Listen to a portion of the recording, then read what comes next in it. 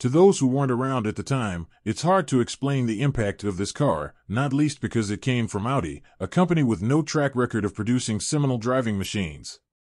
But it was permanent four-wheel drive and a 200 HP five-pot motor provided one of the most memorable driving experiences of the 1980s.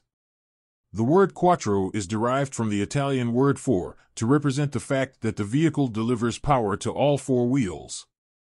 The name has also been used by Audi to refer to the Quattro four-wheel drive system or any four-wheel drive version of an Audi model.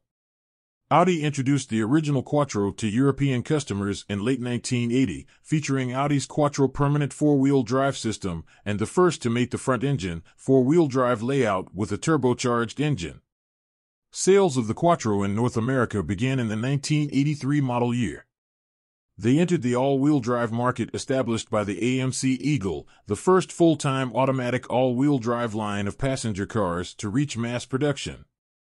People raved about the Quattro's thrilling performance being impressed with its traction and acceleration, particularly on wet, greasy, and slippery surfaces, noting that only the Porsche 911 could match its traction and acceleration in slippery conditions. In 1981, 14,500 pound price tag was very good value for money considering its performance and the fact that its BMW, Porsche, and Jaguar rivals cost 5,000 pounds more. Audi planned to build only 400 Quattros for homologation, but strong public response led the company to put the Quattro into regular production. Initial sales were mostly in Europe, with right-hand drive and US models following in 1982. The Quattro's nominal successor was the 1991 S2, but its real legacy was the litany of AWD performance cars it inspired.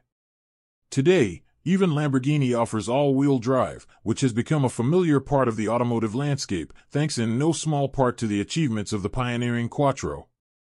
This was the birth of a legend which clocked up innumerable motorsport victories and a demonstration of still unsurpassed supremacy on the road. There is so much to talk about this car, but I want to be short with technical details and more about the impressions from people who drove it, and it's overwhelming. Thank you for watching and have a nice day.